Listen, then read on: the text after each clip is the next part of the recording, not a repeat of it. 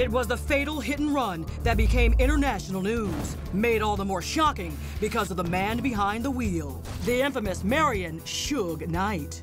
Once called the most feared man in hip hop as co founder and CEO of Death Row Records. Suge helped define the West Coast rap scene of the 90s. But with his ruthless kingpin image came allegations of very real criminal behavior. Was it all a terrible accident or another example of a dangerous man's well publicized rage? And just who was the person caught in the path of Suge Knight's deadly drive?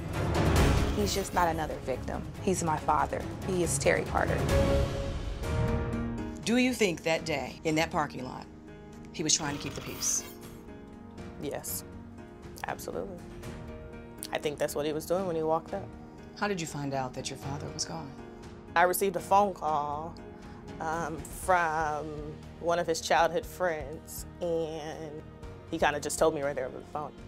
He said, uh, Nakia, and I said, yes. He said, um, your dad's been killed.